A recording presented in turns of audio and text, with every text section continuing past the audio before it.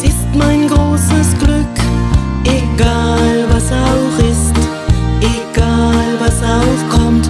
Ich bleib hier, das ist wunderbar. Was ich brauch, sind die Berge und das an jedem Tag. Ich bin ein Gebirgeschmadel, darauf bin ich richtig stolz. Nur hier möchte ich leben.